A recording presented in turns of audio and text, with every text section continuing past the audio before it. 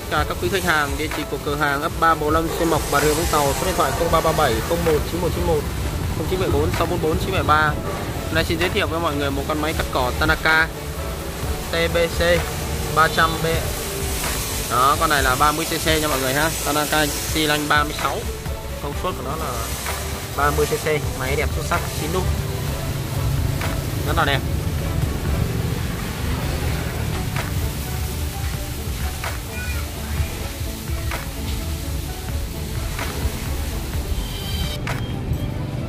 Máy rất là đẹp nha mọi người, xuất sắc luôn, đẹp chín luôn long lanh, lồng lộn luôn. Có bơm xăng phụ này. Đây là bình chứa nhiên liệu của máy ha, đây bơm xăng phụ này. Bên này là cái e này. Em mở ra hướng dẫn cho mọi người ha. Chế là chế ngang thôi nha, chế ngang là chế xài Wamboro xài rất là ngon. Đây. Mọi người thấy không đó. Hơi mờ mọi người. Đây là Wambo đó chế này chế ờ, chỉnh là hai kim thôi. Cái kim đang ti và một kim giữa thôi. Đó mặt chuối là rất là đẹp rồi em nghe máy mọi người nhé. Rất là đẹp nha mọi người. Gì nó sao phải dặn nó. Ổ cước ha. Đi nguyên bản rất là đẹp. Xuất sắc luôn ha giờ em sẽ khởi động tiếng máy nhá. Hướng dẫn mọi người cách khởi động tiếng máy nhá. Ở trên đây là trục mở buri ha.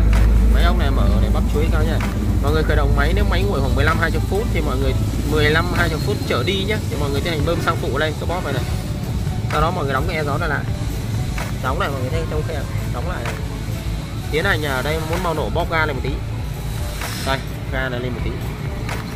Ga này thì đang ga gạt ga zin, xài rất là bền. Đấy, ga như này ha. Còn mọi người thích thì em sẽ thay cho một cái tay ga bóp đó, thuận tiện hơn. Đó rồi mình tiến hành đóng e giật khoảng hai ba cái nó ho, tiếng mọi người đè xuống và giật tiếp là xong. Còn ở đây thì em đã nổ rồi và em sẽ hồi hết ga về. Mình giật thôi ha.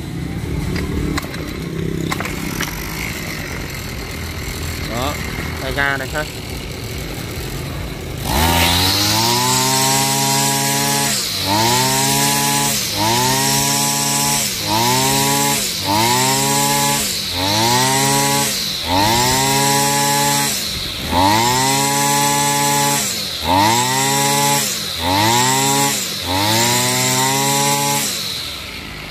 Móc là luôn.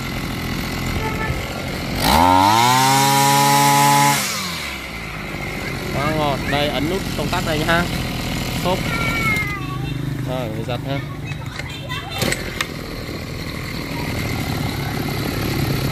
Rồi. Đây là bộ e của máy này. À, rồi. Mọi người mua hàng thì liên hệ trực tiếp với thắng mấy có hai đầu số 0337 01 9191 0974 644 973 cảm ơn tất cả mọi người rất là nhiều.